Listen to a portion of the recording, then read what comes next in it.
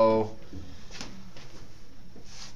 talk to you guys because it's more fun than talking to the camera. Um, so we're gonna start with uh, the bandsaw, and we'll do the sanders, and then fin- finish on the table saw. Um, rule one: we're in the shop and we're using things that move quickly and impart speed to other things. Safety glasses. That kind of rule one. Um, any of these tools um, can severely damage your eyes, um, and good idea. Not mandatory, um, but hearing protection. Um, this is kind of loud. Other ones are pretty quiet. That's really loud. I don't know if we'll talk about that. The planer is really loud. Um, but uh, so hearing protection optional, but um, your kind of call. Um, so what you use the bandsaw for? Um, you can cut with this blade um, plastics, wood, a lot of different composite materials. No metal. This is capable of cutting metal, but um, we'd want to put a different blade on here. Um, so if you want to cut metal, So we could, we could ping you if we wanna cut metal. Right, you'd probably have to buy the blade because I don't have the blade. But we, but this is, you know, just as that's a bandsaw, it's made for cutting metal. This can cut metal too. It's not lighter duty, but can do it. Um, and so the things you actually want to do with this machine, um, it's good for cutting uh, kind of very irregular paths. So if I wanted to cut that, it'd be really hard to do on a table saw. Um, and so the bandsaw is like a perfect opportunity for that. Um, so let's do a let's do a quick demonstration of, of what the bandsaw can actually do. Um, I'll explain all of these things that I'm doing after I make the cut. Power switch. Black is on, red is off.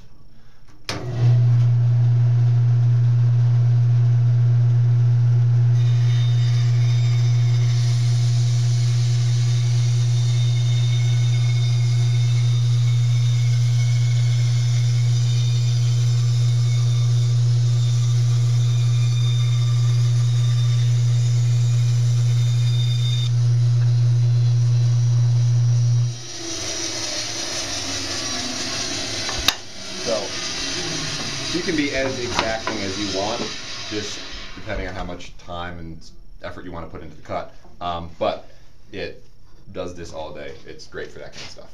Um, the cut, like the finish it leaves, is a little bit rough. It's not, it's not super fine, but um, we can clean that up with a different tool later. Um, so before you make a cut with the bandsaw, there are a couple things you have to adjust to do it. Um, this is what five eighth inch thick um, board, and you might have seen me lower this thing. This thing.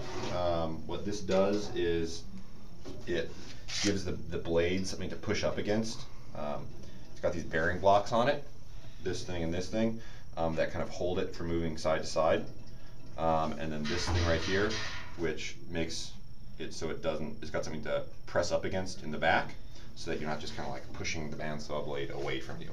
Um, and if you have this way the hell up here, there's a lot of like flex and movement in the blade, and you're gonna get a much less accurate and less safe cut. So you want the the guard to be kind of pretty much as close as possible to the, the workpiece without being kind of disruptive to your cut. So quarter inch kind of above the, the workpiece. And that's controlled by this little thumb screw right back here. Um, just you loosen it up, move it to where you want it, tighten it back down. Pretty simple.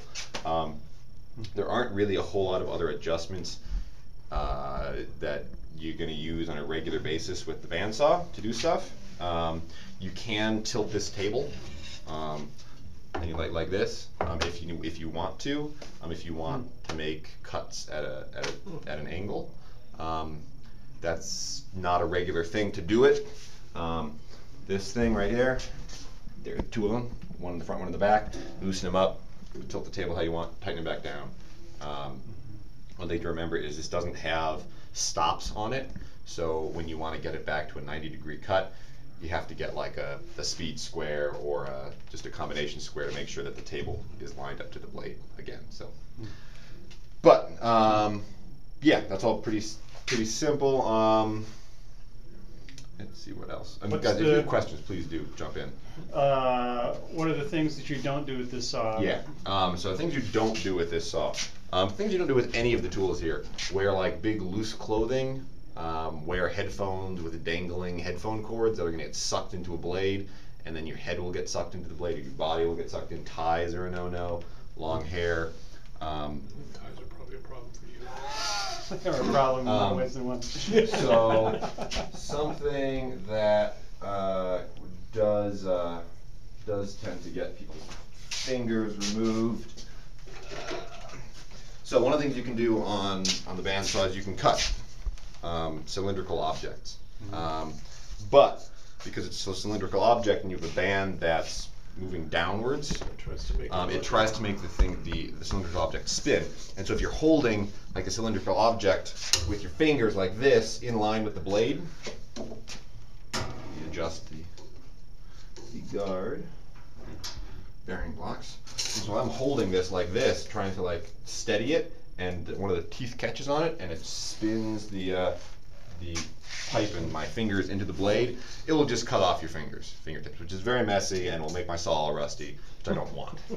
Also, you won't have fingertips, which is also kind of a bummer. Um, so you can cut cylindrical things on here, no problem. Um, it's actually quite good at it. Uh, But just don't, the main thing is just don't put your fingers anywhere near. The main thing is your fingers on all of the cuts with the bandsaw. Frankly, all of the cuts with all of these tools. Um, the thing is, it's important where your fingers are.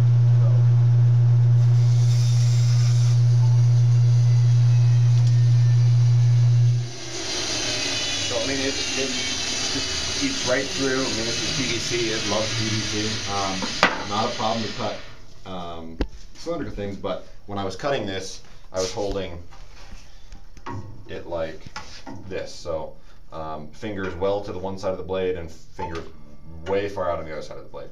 Um, and just went right through. It's not a big deal. Um, when I was cutting this, for example, it's it you can just kind of whatever whatever gives you the best control while you're making most of the cut um, is fine. Um, but then when I'm getting towards the end, it's it's important to watch where your thumbs are because you have a propensity to push with your thumbs when you're using the bandsaw, and the most and you're gonna get like the most power if you're pushing right in front of the blade. Um, but then when the blade cuts through and your thumbs are there, again you're gonna lose a tip of your finger. Bummer. Um, and so you're really just trying to keep your fingers when like when you're getting towards the end of a cut, and really most of the time, um, keep them away from the blade.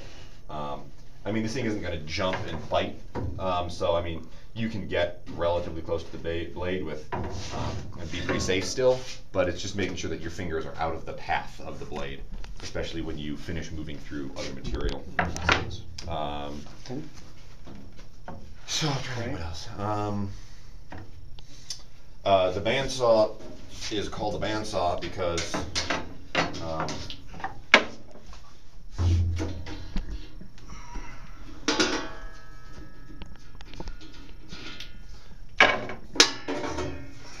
it's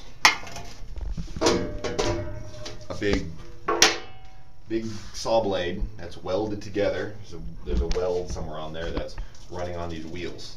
Um, So does one of the wheels move in to, to take the blade on and off? I mean, do you like? Uh, yes, yes. There's a there's a tensioning um, there's a tensioning screw back here, um, and then there's an adjustment um, that allows you to um, kind of place the blade on the wheels. Um, you guys, if if the blade breaks, that's that's what I'm getting at. Um, this blade, these blades can break, um, especially and they break when the machine is on, um, which is very exciting because you have a blade moving at you know 150 feet per second not per second, um, moving very quickly um, at breaks and all of a sudden might shoot out of the machine um, as in to escape out of here or um, it's just really exciting. If it breaks, if you're like a pop, big pop while you're while you're using the bandsaw, um, down is a good direction to head.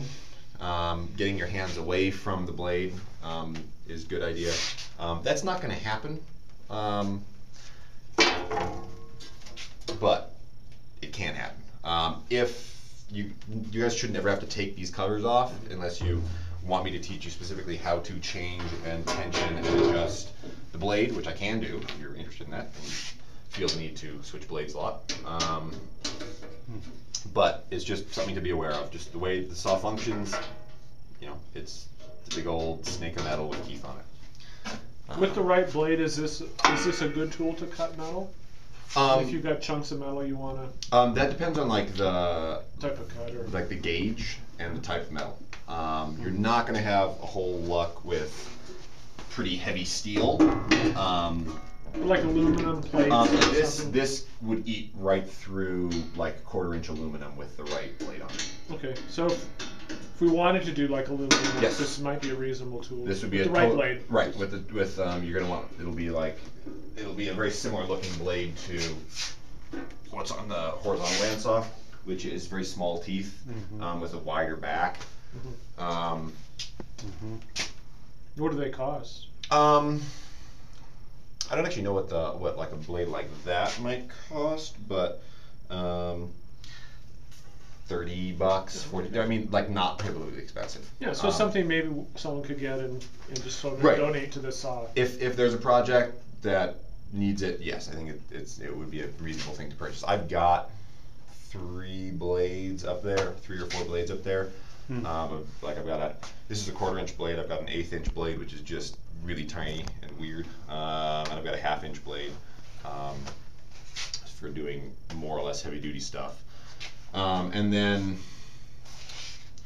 this is a miter gauge. Um, what it does is it sits in a track like that, and uh, you can rest a workpiece up against it, and uh,